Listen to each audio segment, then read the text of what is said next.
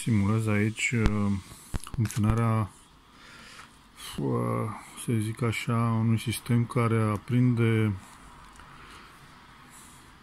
patru becuri sau un bec în patru trepte. Acum ar fi ziua. Simulez, uh, am trebuit să fie o fotorezistență și o rezistență, eu am doar un buton. Se face noapte. Acum ar trebui să treacă minute, dar eu nu am răbdare și l-am pus. Deci rămâne aprins becul, să zicem, mai puternic.